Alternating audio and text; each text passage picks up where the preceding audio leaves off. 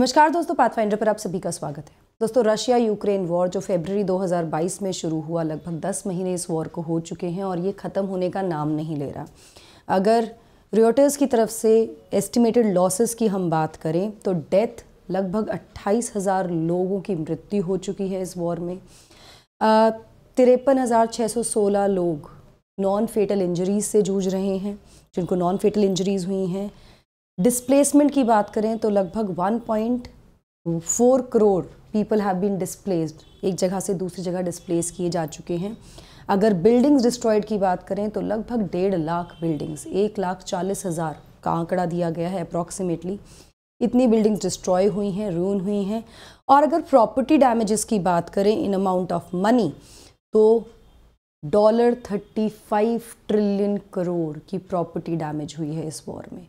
और अभी भी इसका अंत होता नहीं दिख रहा। एक और नया मुद्दा निकल कर आया है विच इज़ डर्टी बॉम्ब क्या है ये डर्टी बॉम्ब क्या यूक्रेन इसका इस्तेमाल करने वाला है रशिया के विरुद्ध?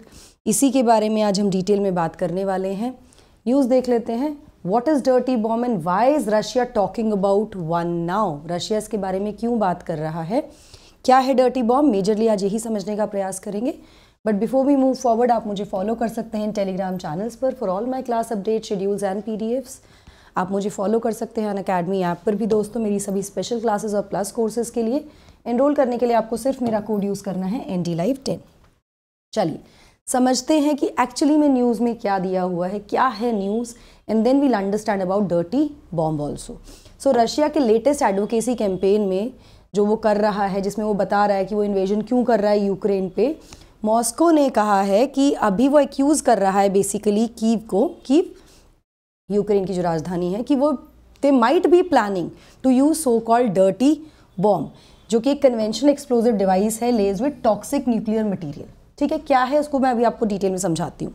Kyiv and its west allies जो भी हैं वो ये कह रहे हैं कि इसमें कोई सच्चाई नहीं है इन एक्यूजेशन में and that the idea that Ukraine would poison its own territories patently absurd मतलब अगर डर्टी बॉम्ब का इस्तेमाल करना है और ये कहना, ये सोचना भी रशिया की तरफ़, मॉस्को की तरफ़ से कि यूक्रेन रशिया को नुकसान पहुँचाने के लिए अपनी ही टेरिटरीज़ को इंटॉक्सिकेट कर देगा पॉइजन कर देगा, ये बहुत ही एब्सर्ड थॉट है। They say Moscow could be making the allegation to justify an escalation of its own यहाँ पर यह भी आरोप लगाया जा रहा है रशिया पर कि हो सकता है रशिया कुछ ऐसा प्लान कर रहा हो जिसको जस्टिफाई करने के लिए रशिया इस तरह के यू नो एक्यूजेशंस लगा रहा है ऑन यूक्रेन चलिए क्या है डर्टी बॉम्ब पहले ये समझ लेते हैं. डर्टी बॉम्ब इसका मतलब एक, एक तरह से it's not a conventional atom bomb नहीं है ये ठीक है? ये कन्वेंशनल एक्सप्लोजिव नहीं मतलब नहीं है ये जिस तरह के एटम बॉम्ब्स होते थे.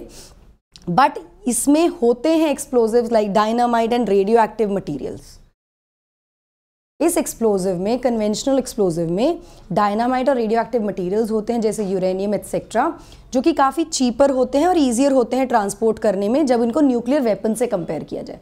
तो they are not not nuclear weapon as per se but they does have dynamite और radio active materials in them ये जो डर्टी बॉम्ब है। ठीक है? जब इनको एक्सप्लोड किया जाएगा तो इसके अंदर का जो भी मटेरियल होता है, वो स्कैटर करता है थ्रू दी एयर हवा में फैल जाता है और ये जो रेडियो एक्टिव मटीरियल्स हैं uranium etcetera uranium cobalt etcetera तो ये क्या करेंगे? ये रेडियो एक्टिव मटीरियल्स को फैला देंगे हवा में, जिनको इनहेल करने पर पर लोगों को परेशानियाँ होंगी, समस्याएँ होंगी। नाउ ये डेंजरस है, लेकिन ये डिस्ट्रक्टिव नहीं है न्यूक्लियर बॉम्ब की तरह। खतरनाक है, लेकिन ये जो एटम बॉम्ब वाला डिस्ट्रक्शन है, वो नहीं करता है। ठीक है? इसी की एलिगेशन लगाई जा रही है। ना इसका इस्तेमाल क्यों किया जाता है? सो so बेसिकली जो इंटेंशन है डर्टी बॉम्ब को यूज़ करने की, वो base is to cause panic जनता में पैनिक क्रिएट करना, उनमें डर फैलाना कि मतलब वो डर जाए और डर के भगदड़ मचे, इस तरह की सिचुएशन आ जाए। लोग पैनिक हो जाएँ rather than creating actual physical damage actually में जो भी लैंड एरिया है, जो भी जगहें हैं, या वो अफेक्ट नहीं होंगी। लेकिन पैनिक सिचुएशन क्रिएट हो जाएगी। उसका उद्देश्य मेजरली यही होता है। Hence it is also usually refer to as a weapon of mass disruption इसको वेपन ऑफ़ मास डिसरप्शन कहा जाता है as oppose to a weapon of mass destruction which are nuclear bombs या न्यूक्लियर वेपन्स जो होते हैं which is the case for nuclear explosions ठीक है? नाउ क्या ये डेंजरस है? This is a very very important question so पहली चीज़, क्योंकि ये डिस्ट्रप्शंस कर रहा है, ये लोगों में पैनिक क्रिएट कर रहा है तो it is not more of a physical nuclear bomb kind of a thing और वेपन जो कि बॉम्ब फटेगा और लोग तितर बितर हो जाएँगे, वो नहीं हो रहा है, लेकिन ये क्या है? साइकोलॉजिकल बॉम्ब की तरह काम कर रहा है साइकोलॉजिकल वेपन है।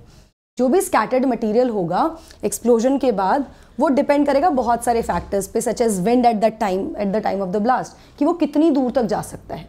जो भी रेडियो एक्टिव एलिमेंट उसके अंदर होंगे, वो कितनी दूर तक फैल सकते हैं डिपेंडिंग ऑन द विंड ठीक है?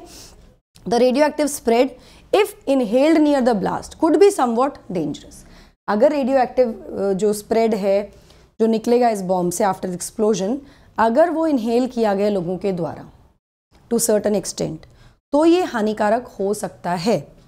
Previously there is no record of successful dirty bomb explosion anywhere in the world अभी तक दुनिया में हमारे पास कहीं पर भी इसका सक्सेसफुल एक्सप्लोजन uh, होना इसका इस्तेमाल होने का कोई प्रूफ नहीं है। हाउ बहुत सारे अटैम्प्ट जो किए गए किए गए हैं डर्टी बॉम्ब को एक्सप्लोर करने के वो फेल हुए हैं। नाउ कितना डैमेज ये क्रिएट कर सकता है? ये देख लेते हैं तो सिक्योरिटी एक्सपर्ट्स कहते हैं, का कहना है कि मेजरली वो किस तरह से? उनका जो चिंता का विषय है वो ये है कि ये एक फॉर्म ऑफ़ टेररिस्ट वेपन है, जो कि यूज़ किया जाएगा सिटीज़ पे to create havoc among the civilians मतलब डराना उनको, डराने के लिए पैनिक सिचुएशन क्रिएट करने के लिए rather than as a tactical device ना कि एक टेक्टिकल डिवाइस जो इस्तेमाल किया जाता है बाय दी वॉरिंग पार्टीज़ जो लड़ रहे हैं युद्ध वो आपस में कॉन्फ्लिक्ट को ख़त्म करने के लिए कॉन्फ्लिक्ट में टैक्टिकल डिवाइस यूज़ करते हैं। इसकी जगह सिविलियंस को टारगेट किया जाएगा through this kind of a bomb experts का ये भी कहना है कि इसके इमीडिएट हेल्थ इम्पैक्ट की अगर बात करें तो हो सकता है वो काफ़ी सीमित हो। Since most of the people in the affected area would try to you know would be able to escape क्योंकि जहाँ पर ऐसा लगेगा कि ऐसा होने के यू uh, नो मंशा है, ऐसा हो सकता है कि यहाँ पर इसका इस्तेमाल किया जाएगा तो लोग कोशिश करेंगे वहाँ से एस्केप करने की, उस जगह से दूर जाने की। विंड कहाँ तक उसको ले जा पाएगी? That is a different story altogether क्या कितनी विंड होगी, वो सब भी अफेक्ट करेगा। तो इमीडिएट हेल्थ इफ़ेक्ट अगर इम्पैक्ट की हम बात करें तो शायद वो बहुत सीमित होगा। ठीक है ना? जब तक कि लोग lethal dosage of radiation experience करेंगे, उससे पहले वो निकल जाएँगे उन जगहों से। लेकिन इसका जो इकोनॉमिकल डैमेज होगा, जो इकोनॉमिकल हानि ये पहुँचा सकता है, वो बहुत बहुत ज़्यादा मैसिव हो सकती है, क्योंकि लोगों को इवैक्यूएट करना from the urban areas and even the abandon whole cities पूरे के पूरे शहरों को खाली कर देने का प्रभाव, जो इकोनॉमिकल प्रभाव पड़ेगा, वो बहुत मैसिव हो सकता है। तो it's more on the psychology than the physical damage it is creating and the economical damage it would create so this is what dirty bomb is and its effects are now Russia ने क्या एलिज किया? Russia के क्या आरोप हैं? तो यहाँ पर एक लेटर भेजा गया है रशिया के द्वारा, जिसमें एलिगेशंस लगाई गई हैं कीव पर, कि वो मतलब यूनाइटेड नेशंस में भेजा गया मंडे को और जो डिप्लोमेट्स हैं, उनका कहना है कि रशिया ने प्लान किया है कि वो इस इशू को एक क्लोज्ड मीटिंग में उठाने वाले हैं सिक्योरिटी काउंसिल के साथ।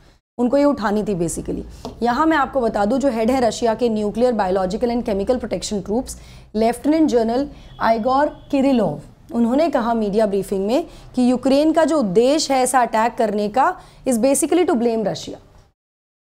मतलब रशिया को ब्लेम करने के लिए ऐसा अटैक प्लान कर सकता है Ukraine the aim of provocation would be to accuse Russia of using weapons of mass destruction उद्देश्य क्या हो सकता है कि भाई आप मास डिस्ट्रक्शन के वेपन्स यूज़ करें, उसके बदले में हम ऐसा यूज़ करें। तो उसका ये उद्देश्य हो सकता है by that means to launch a powerful anti Russian campaign in the world जिससे वो क्या होगा? एक एंटी रशियन कैंपेन को बढ़ावा देने की ऑलरेडी हम जानते हैं, विश्व में इस समय ऐसा कैंपेन चल रहा है, पर इसको और ज़्यादा एक तरह से कैटलिस्ट की तरह काम कर सकता है और ज़्यादा इसको बढ़ा सकता है in the world aimed at undermining the trust in Moscow कि लोग रशिया पे भरोसा करना ही बंद कर दे। तो ये मेजर एलिगेशन हैं रशिया के। ना और रिस्पॉन्स की बात कर लेते हैं। रिस्पॉन्स क्या है? अगर रिस्पॉन्स की बात करें तो यूक्रेन और जो वेस्ट अलाइज हैं यूक्रेन के, उन्होंने सिरे से खारिज कर दिया है इस आरोप को। और ये कहा जा रहा है कि ये ऐसा कुछ भी नहीं है कि ऐसा मतलब ये बहुत अब्सर्ड है कि यूक्रेन रशिया को रोकने के लिए अपनी ही टेरिटरीज को पॉइजन कर देगा। इनहेबिटेबल सिचुएशन में ले आएगा। This is very absurd this is not even मतलब ये आइडिया ही बहुत अजीब है स्पेशली जब यूक्रेनियन ऑलरेडी रिकैप्चर कर रहे हैं अपनी टेरिटरीज को on the battlefield Ukrainian अपनी टेरिटरीज वापस ले रहे हैं रशिया से तो ऐसे में वो क्यों अपनी टेरिटरीज को इंटॉक्सिकेट करेंगे पॉइजनस पॉइजन करेंगे? US Britain France they have called Russian allegation as transparently false कि बिल्कुल बेतुका झूठा है, झूठ है ये। और मॉस्को को वॉर्न भी किया है कि इसको बिल्कुल भी एक प्रीटेक्स की तरह इस्तेमाल ना किया जाए। एक तरह से ना वो प्रीटेक्स का मतलब यहाँ पर ये हो गया कि आ, पहले ही कुछ एक स्टेज तैयार कर दिया जाए कुछ बड़ा करने से पहले। तो डोंट डू दिस ये भी उनको वॉर्न किया गया है। यूक्रेनियन प्रेसिडेंट जो है जेलेंस्की उन्होंने सजेस्ट किया है कि Moscow might be using the allegation as to cover for plans for a similar attack of its own तो जेलेंस्की ने तो यहाँ पर ये कह दिया है कि भाई हो सकता है कि रशिया खुद से ऐसा कुछ प्लान कर रहा है उसको कवर करने के लिए वो हम पर एलिगेशन लगा रहे हैं हम पर आरोप लगा रहे हैं। Which quote unquote he's saying if Russia calls and says that Ukraine is allegedly preparing something, it means one thing. Russia has already prepared all this. उनका कहना है कि रशिया अगर ये आरोप लगा रहा है कि यूक्रेन ऐसा करने वाला है तो इसका मतलब एक ही बात है कि वो ऑलरेडी ऐसी चीज़ को प्रिपेयर कर चुके हैं। तो सीधा सीधा जो भी अलाइज हैं यूक्रेन है उसने इस आरोप को खारिज कर दिया है कि ऐसा कुछ भी नहीं होने वाला और उस पर रशिया ऐसा कुछ प्लान कर रहा हो। आने वाले दिनों में पता लगेगा एक्जैक्टली डर्टी बॉम्ब का इस्तेमाल होने वाला है नहीं होने वाला but it is going to be very very disasters in the sense कि ऑलमोस्ट दस महीने हो चुके हैं। मैंने शुरुआत में आपको आंकड़े बताए।